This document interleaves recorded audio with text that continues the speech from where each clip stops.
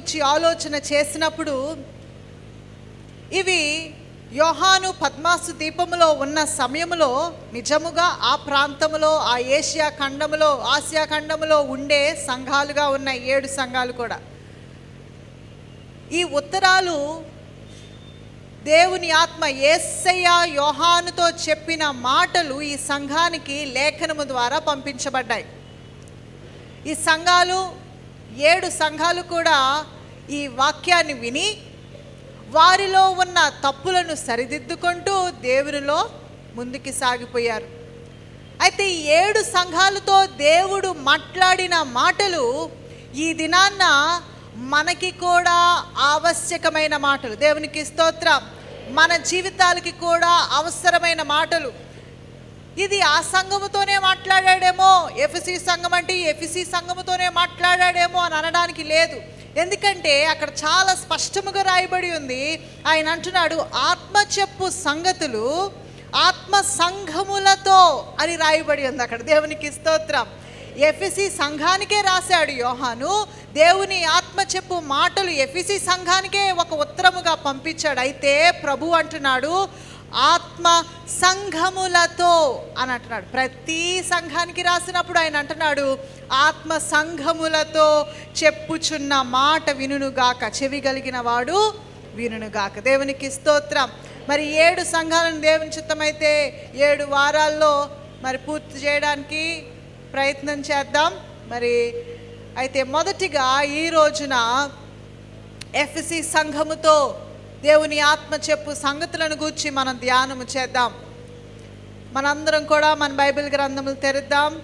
అందరూ లేచి నిలబడండి. ప్రకటన గ్రంథము రెండవ అధ్యాయం. అవును లేచి నిలబడండి అని అన్నాను. లేచి నిలబడండి.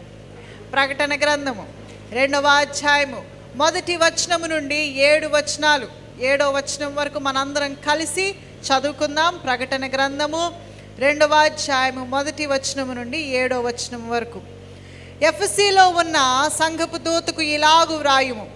ఏడు నక్షత్రములు తన కుడి చేత పట్టుకొని ఏడు దీపస్తంభముల మధ్య సంచరించువాడు చెప్పు సంగతులేమనగా నీ క్రియలను నీ కష్టమును నీ సహనమును నెరుగు నేనెరుగుదును. నీవు దుష్టులను సహింపలేవనియు అపోస్తులు కాకయే తాము అపోస్తులమని చెప్పుకొను వారిని పరీక్షించి వారు అబద్ధికులను నీవు కనుగొంటివి. కరిగొంటివనియు. నీవు సహనము కలిగి నా నామము నిమిత్తము భారము భరించి అలయలేదనియు నేనెరుగుదును. అయినను మొదట నీకుండిన ప్రేమను నీవు వదిలితివని నేను నీ మీద తప్పు ఒకటి మోపవలసి ఉన్నది నీవు ఏ స్థితిలో నుండి పడిపోతివో అది జ్ఞాపకము చేసుకొని మారు మనసు పొంది ఆ మొదటి క్రియలను చేయుము. అట్లు చేసి నీవు మారు మనసు పొందితేనే సరి. లేని ఎడల నేను నీ యొద్దకు వచ్చి నీ దీపస్తంభమును దాని చోట నుండి తీసివేతును. అయితే ఈ ఒక్కటి నీలో ఉన్నది.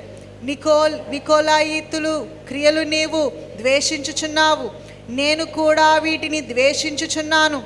చెవిగలవాడు ఆత్మ సంఘములతో చెప్పుచున్న మాట వినుగాక జయించువానికి దేవుని పరదైసిలో ఉన్న జీవవృక్ష ఫలములు భుజింపనెత్తును. ఆమెన్. ప్రార్థన చేసుకున్నాం దైవమానికి స్తోత్రాలు. నాయనా నీ వాక్యమును భుజించటానికి మేము సిద్ధముగా ఉన్నాం. నీ జీవవాక్కును నాయన నీ జీవపు రొట్టెను విరిచి నాయన మా జీవితాలకు అవసరమైన వాక్యమును నాయన నీవు మాకు అందించమని. నాయన ఆత్మ చెప్పు సంగతులను నాయన ఆత్మ సంఘముతో చెప్పు సంగతులను నాయన. చెవిగలిగిన వాడు వినుగాక ఆమెన్ ఆమెన్. కూర్చున్నాం దేవునికి స్తోత్రం. హలెలూయ ఈ మాటలు కనుక మనం చూసినట్లయితే ఈ మాటలు చాలా స్పష్టముగా సంఘానికి రాయబడిన మాటలు. లోకానికి రాయబడిన మాటలు కాదు. దేవునికి స్తోత్రం. హలెలూయ సంఘానికి రాయబడి ఉన్నవి రక్షింపబడిన వధువు సంఘానికి రాయబడి ఉన్నాయి. దేవునికి స్తోత్రం. హలెలుయా దేవుని రక్తములో కడగబడిన ప్రజలు కొరకు దేవుడు రాసిన మాటలు ఇవి. ఎవరు పడితే వాళ్ళకి రాసిన మాటలు కాదు ఇవి. దేవునికి స్తోత్రం. హలెలుయ కాబట్టి ఇది నాది కాదు నేను వినని అవసరం లేదని అనుకోవద్దు. ఇది మన కొరకు దేవుని ఆత్మ మన కొరకు రాసిన సంగతులను మనం ధ్యానిస్తున్నాం. దేవునికి స్తోత్రం. హల్లెలూయా. మొట్టమొదటిగా మనము ఎఫ్ఎస్సి సంఘాన్ని గురించి ఆలోచన చేద్దాం. ఎఫ్ఎస్సి సంఘము మరి నూతన నిబంధనలో చూచినట్లయితే మూడు సార్లు వేరు వేరు చోట్ల మరి రాయబడి ఉంది ఎఫ్ఎస్సి సంఘాన్ని గురించి. అపోస్తుల కార్యములో ఎఫ్ఎస్సి సంఘాన్ని చూస్తాం. ఎఫ్ఎస్సీలకు పౌలు ఒక పత్రికనే రాస్తాడు. అదేవిధంగా ప్రకటన గ్రంథంలో ఎఫ్ఎస్సీల గురించి చూస్తాం. తిమోతికి పౌలు ఎఫ్సి సంఘాన్ని గురించి రాస్తాడు. ఎఫ్సి సంఘాన్ని మనం ఆలోచన చేసినప్పుడు ఒక చాలా చక్కని పట్టణములో చాలా వ్యాపారము జరుగు పట్టణములో విస్తారమైన జనము మరి వ్యాపారము జరుగు పట్టణములో ఈ ఎఫ్సి సంఘం ఉన్నది.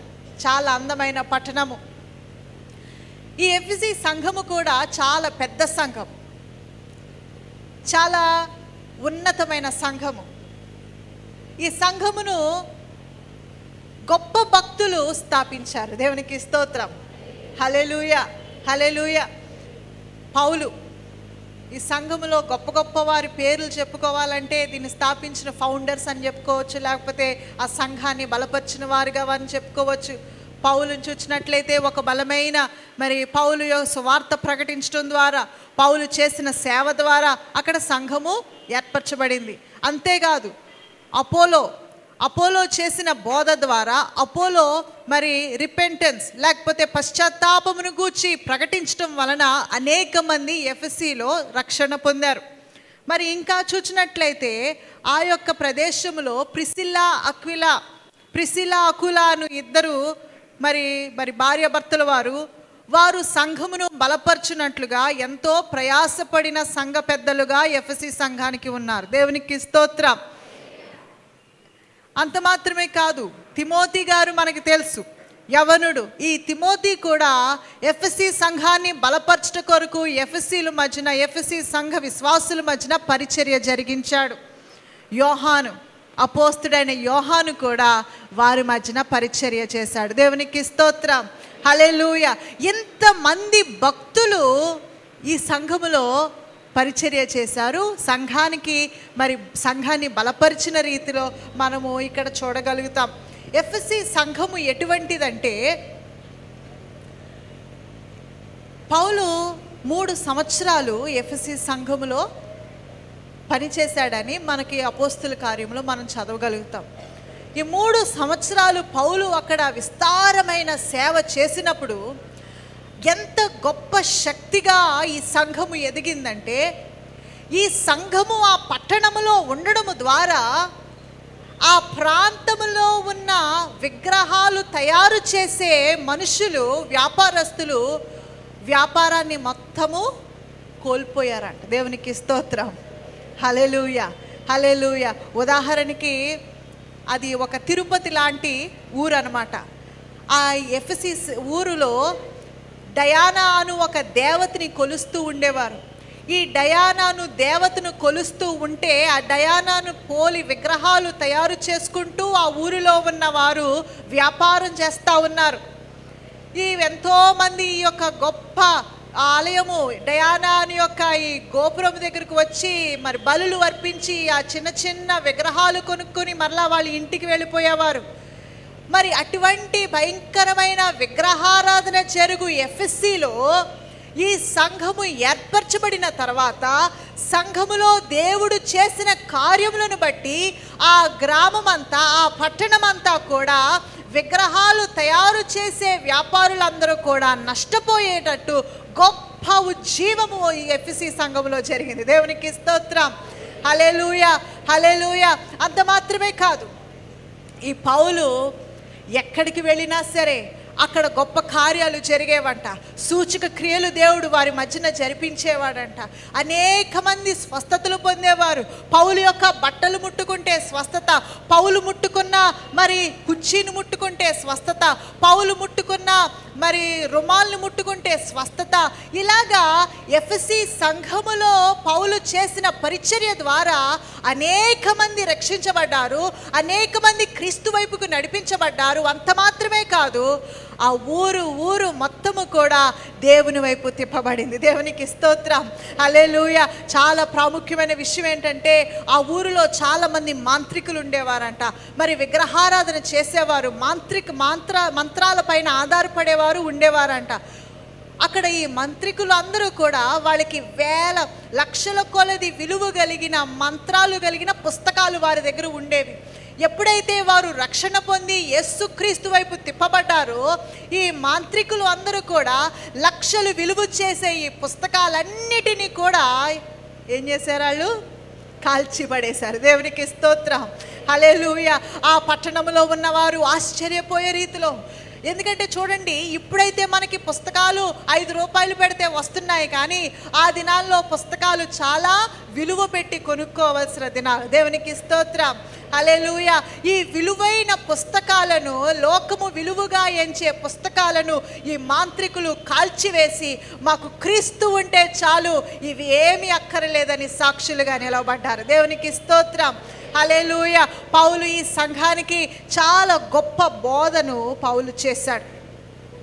కాబట్టి ఎఫ్ఎస్సి సంఘాన్ని మనం చూసినప్పుడు ఒక సాధారణమైన సంఘము కాదు ఎఫ్ఎసి సంఘం. బలమైన సంఘము డబ్బు ఉన్న సంఘము గొప్ప పరిచర్య జరిగిస్తున్న సంఘము ఆ ఊరు గ్రామానికే ఒక సాక్షిగా ఉన్న సంఘము. దేవునికి స్తోత్రం. హల్లెలూయా. అయితే పౌలు వీళ్ళకి మూడు విషయాలను గురించి బోధ చేస్తున్నాడు. ప్రకటన గ్రంథముకు రాకముందు జరిగిన విశేషాలను గురించి మీకు చెప్తున్నాను. మూడు విషయాలను గురించి పౌలు ఎఫ్ఎసి సంఘానికి రాస్తున్నాడు. అనేక చోట్ల వేరు వేరు సా వేరు వేరు చోట్ల రాస్తున్నాడు. మొట్టమొదటిగా పౌలు అంటున్నాడు ఎఫ్ఎస్సి సంఘానికి మీరు మారుమనసు పొందారు.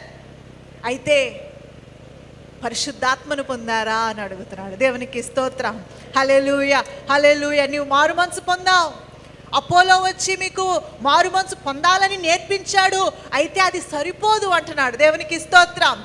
హలేలుయ దానితో మీరు సరిపెట్టుకోవద్దు. దానితో మీరు ఇక కళ్ళు మూసుకోవద్దు.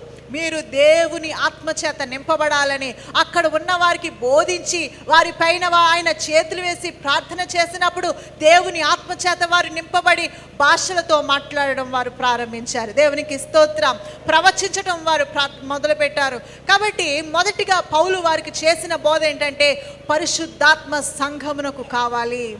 పరిశుద్ధాత్మతో సంఘము నింపబడాలి సంఘము ప్రవచనాలు ప్రవచించాలి సంఘము భాషలతో మాట్లాడాలని అక్కడ సంఘమును హెచ్చరించాడు. రెండవదిగా చూచినట్లయితే పౌలు ఈ సంఘానికి బోధించింది ఏంటంటే ఎఫ్సి పత్రికను గురించి ఒకసారి నేను ఇక్కడ ప్రసంగం చేసినప్పుడు చెప్పాను. నీవు సృష్టించబడింది. మనము ఈ లోకంలోనికి వచ్చి ఈ ప్రయాసము ఈ కష్టము ఇలాగ కలవడము. అక్కడ పౌలు అంటున్నాడు చాలా స్పష్టంగా ప్రేమలో దేవుడు మనల్ని ఏర్పరిచాడు. హలెలుయ మనం ఇతరులను ప్రేమించు వారముగా ఉండాలని ఎఫ్ఎసి సంఘానికి బోధించాడు.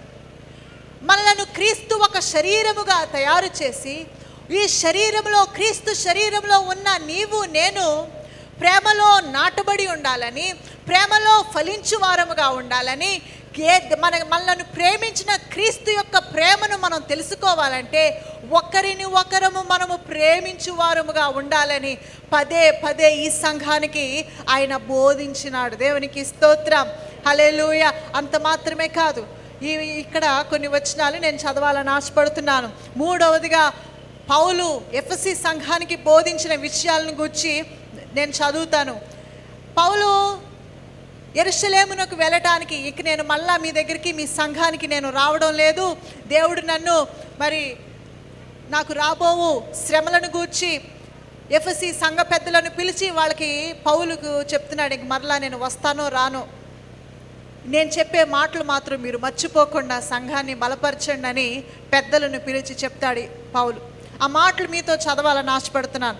అపోస్తుల కార్యములు ఇరవయో అధ్యాయము ఇరవై ఎనిమిదో వచ్చిన నుండి చదువుతున్నాను దయచేసి వినండి. దేవుడు తన సర్వశక్తి తన స్వరక్తమిచ్చి సంపాదించిన తన సంఘమును కాయుటకు పరిశుద్ధాత్మ మిమ్మును దేనియందు అధ్యక్షునుగా ఉంచెనో ఆ యావత్తు మందును గూర్చియు మీ మట్టుకు మిమ్మును గూర్చియు జాగ్రత్తగా ఉండుడి. నేను వెళ్ళిపోయిన తర్వాత క్రూరమైన తోడేళ్ళు మీలో ప్రవశ ప్రవేశించునని నాకు తెలియను. వారు మందను కనికరింపరు మరియు శిష్యులను తమ వెంట ఈడ్చుకొని పోవలనని వంకర మాటలు పలుకు మనుష్యులు మీలోనే బయలుదేరుదురు. కావున నేను మూడు సంవత్సరములు రాత్రింబగులు కన్నీళ్ళు విడుచుచు ప్రతి మనుష్యునికి మానక బుద్ధి చెప్పితునని మీరు జ్ఞాపకము చేసుకొని మెలకువగా ఉండుడి. ఇప్పుడు దేవునికిని ఆయన కృప మీకు క్షేమాభివృద్ధి దేవునికిని ఇప్పుడు దేవునికిని ఆయన కృపావాక్యమునకును మిమ్మను అప్పగించుచున్నాను. ఆయన మీకు క్షేమాభివృద్ధి కలుగు చేయుటకును పరిశుద్ధపరచబడిన వారందరిలో స్వాస్థ్యం అనుగ్రహించుటకును శక్తిమంతుడు. దేవునికి స్తోత్రం. హలెలూయ ఇంకా ఇంటికి వెళ్ళిన తర్వాత ఆ మిగతా వచనాలన్నీ మీరు చదువుకోండి. ఇక్కడ పౌలు సంఘముతో అంటున్నాడు పెద్దలతో అంటున్నాడు. సంగమా మీరు జాగ్రత్త పడండి. బయట శక్తుల గురించి జాగ్రత్త పడండి. అంత మాత్రమే కాదు లోపల కొంతమంది మిమ్మలను పాడు చేయాలని చూస్తున్నారు అంటున్నాడు. హలెలూయ హలెలూయ ఈ తోడేళ్ళు తిరుగుతున్నాయి మీ మధ్యన అంటున్నాడు. మోసకరమైన మాటలు చెప్పేవాళ్ళు బయలుదేరుతున్నారు మీ సంఘములో అంటున్నాడు. మీరు జాగ్రత్తగా కనిపెట్టండి. మెలకువగా ఉండి కనిపెట్టండి. జాగ్రత్త పడుడి అని ఎఫ్సి సంఘానికి మరి హెచ్చరిస్తున్నాడు. నిజమే ఎఫ్ఎస్సి సంఘానికే కాదు అది మన సంఘాలకి కూడా అవసరమైనది. ఈ రోజున చూచినట్లయితే మరి అనేక మంది బోధకులను చూస్తున్నాం అనేక మంది ప్రసంగికులను చూస్తున్నాం. అయితే సంఘాన్ని కాపాడేవారిని ఎవరిని చూస్తున్నాం? సంఘాన్ని మరి కా కాయు కా కాయువారిని ఎవరిని చూస్తున్నాం? సంఘాన్ని భద్రపరిచే వారిని ఎవరిని చూస్తున్నాం? సంఘాన్ని మేపు వారిని ఎవరిని చూస్తున్నాం? ఎవరికి పడితే వారు ప్రసంగికులుగా ఏర్పరచుకొని టీవీల్లోనూ అక్కడ ఇక్కడ ప్రసంగాలు చేస్తున్నారు నిజమే.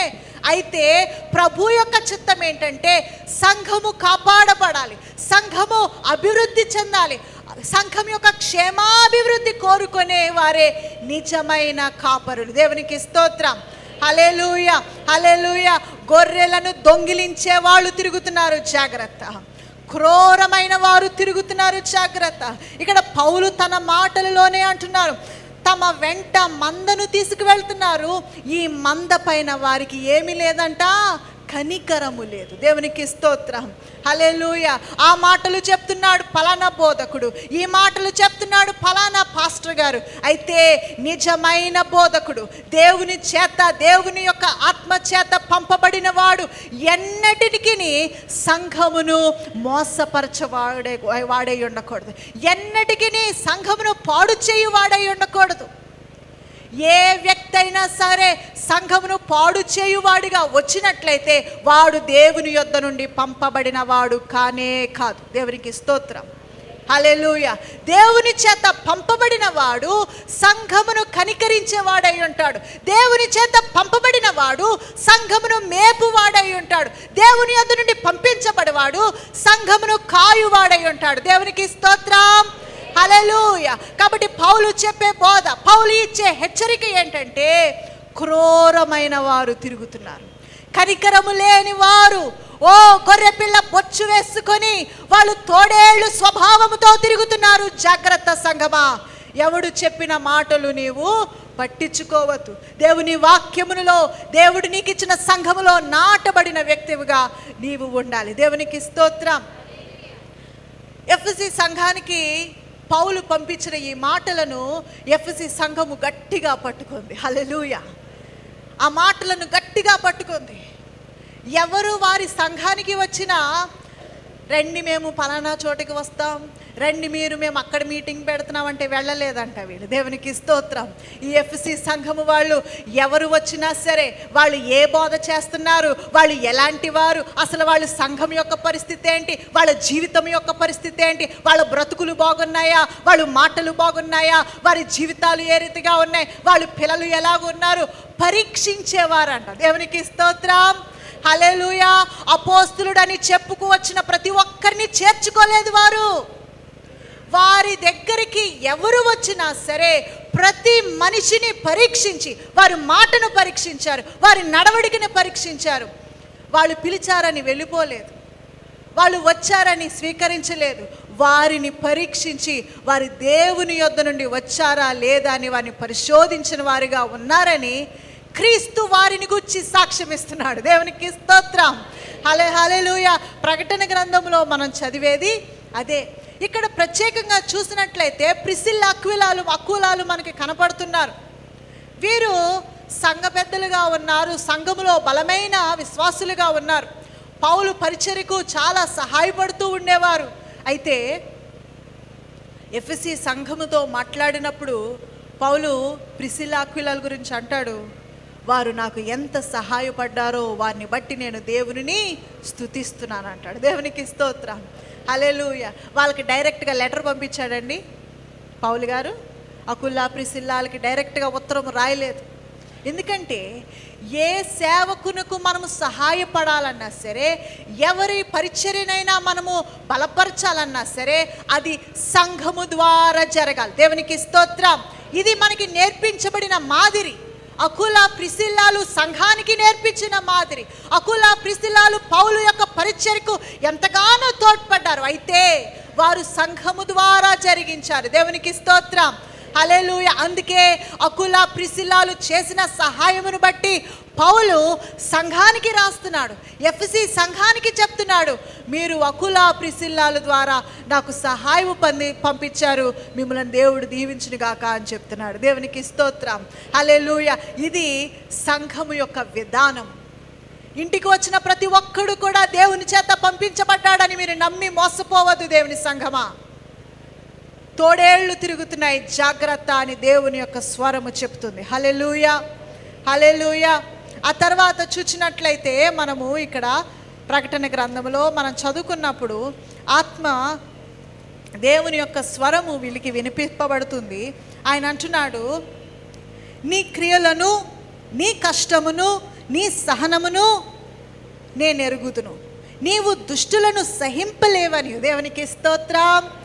సహించలేదంట ఈ సంఘం. వాళ్ళు బ్రతుకుని చూచి వాళ్ళు మాట ఒకలాగా వాళ్ళు బ్రతుకు ఒకలాగా ఉంటే ఈ సంఘము సహించలేదు. దేవునికి స్తోత్రం. హలెలూయ నీవు దుష్టులను సహింపలేవనియు అపోస్తులు కాకయే తాము అపోస్తులమని చెప్పుకొని వారిని పరీక్షించి. హలెలూయ అపోస్తులుడు అనగా దేవుని చేత పంపబడినవాడు హలెలూయ దేవుని చేత పంపబడి ఉన్నామని చాలామంది చెప్పుకుంటారు అంట ఆఖరి దినములలో అనేకులు నా నామం పేరిట వస్తారు. మీరు మోసపోకుడి. దేవునికి అన్నిటికన్నా ప్రాధ ప్రథమమైనది ప్రాముఖ్యమైనది ఆయన సంఘము. హలెలూయా ఎవరైతే సంఘములో నాటబడి ఉంటారో వారి కొరకు దేవుడు రాబోతున్నాడు రెండవ రాకడలో. దేవునికి స్తోత్రం. హలెలూయ నీవు సంఘములో నాటబడితేనే ఆయన రాకడలో ఎత్తబడతావు. అది స్పష్టముగా దేవుని వాక్యము సెలవిస్తుంది. కాబట్టి సంఘాన్ని కాపాడువాడే సంఘాన్ని భద్రపరచువాడే పేతురికి దేవుడు చెప్పిన మాటలు నీవు నన్ను ప్రేమించుచున్నావని నాకు తెలిసేది ఒకే ఒక విధంగా నాకు తెలుస్తుంది. అదేంటంటే సంఘాన్ని నువ్వు కాపాడు. సంఘాన్ని నీవు కాయు సంఘాన్ని నీవు ప్రేమించు సంఘాన్ని నీవు మేపు. దాన్ని బట్టే నాకు తెలుస్తుంది నీవు నన్ను ప్రేమిస్తున్నావని. దేవునికి స్తోత్రం. హలెలూయ అంతేగాని సంఘాన్ని విడగొట్టువాడు సంఘాన్ని పాడు చేయవాడు నా మాటలు వినండి. దేవుని వాక్యము సెలవిస్తుంది. వాడిని దేవుడే పాడు చేస్తాడు. దేవునికి స్తోత్రం. హలెలూయ ప్రభు అంటున్నాడు అపోస్తులని వచ్చారు చాలామంది మీ దగ్గరికి. మమ్మల్ని వెంబడించండి అని అయితే వాళ్ళు మీరు పరీక్షించి వారు అబద్ధికులని నీవు కనుగొంటివి. హలలుయా ఎంత గొప్ప సాక్ష్యము. దేవుడు ఏసయ్య ఈ సంఘాన్ని గురించి చెప్తున్నాడు. అంత మాత్రమే కాదు నీవు సహనము కలిగి నా నామము నిమిత్తము భారము భరించి అలయ అలయలేదనియు నేనెరుగుదును. దేవుని నామము పేరట ప్రభుకి మహిమ కలుగునట్లుగా ప్రభుకి ఘనత కలుగునట్లుగా ఈ సంఘము భారమైన పరిచర్య జరిగించిందట. దేవునికి స్తోత్రం. హలెలుయ చాలా గొప్ప పరిచర్య జరిగించింది ఈ సంఘము. ఈ సంఘము అనేకులకి మాదిరిని నేర్పించిన సంఘము. ఈ సంఘము ఉన్నతమైన స్థానములో ఉన్న సంఘము. ఈ సంఘము క్రీస్తు పేరట ఏది చెయ్యాలన్నా విశ్వాసులందరూ బలముగా కూడి ఆ యొక్క కార్యమును సాధించేవారు. దేవునికి స్తోత్రం. హలెలూయ అయితే ప్రభు అంటున్నాడు కానీ అయినను ఇవన్నీ నీవు చేస్తున్నావు. చాలా మంచిది ఎఫ్సి సంఘమా. ఎవరైనా నీ ఇంటికి వచ్చి అబద్ధ సేవకుడు సంఘాన్ని పాడు చేయాలనుకున్నవాడు నీ సేవకు నీ ఇంటికి వస్తుంటే కడిగేసి పంపిస్తున్నావు ఆ వ్యక్తిని. నీవు మంచి దాసుడవు అయితే సంఘమా మొదట నీకుండిన ప్రేమను నీవు వదిలితివని నేను నీ మీద తప్పు ఒకటి మోపవలసి ఉన్నది. ఆయన మనల్ని సరిచేస్తున్నప్పుడు కూడా ఆయన స్వభావం గమనిస్తున్నారా? నువ్వు పనికి మాలినోడని తిట్టడం లేదు ప్రభు హలలుయ ఆయన అంటున్నాడు ఒక తప్పు నీ మీద మోపవలసి వచ్చింది మోపవలసి ఉన్నది. నేను చెప్పాలి నిన్ను బాగు చేయాలంటే నిన్ను దగదగా మరియు బంగారముగా చేయాలంటే నిన్ను వాక్యము చేత ఉదక స్నానము చేసి పవిత్రమైన పరిశుద్ధమైన సంఘముగా నిన్ను సిద్ధపరచుకోవాలంటే నీలో మచ్చ ఒకటి కనపడుతుంది దేవుని సంఘమా. నీ మొదటి ప్రేమను మొదట నీకున్న ప్రేమను నీవు విడిచిపెట్టావు.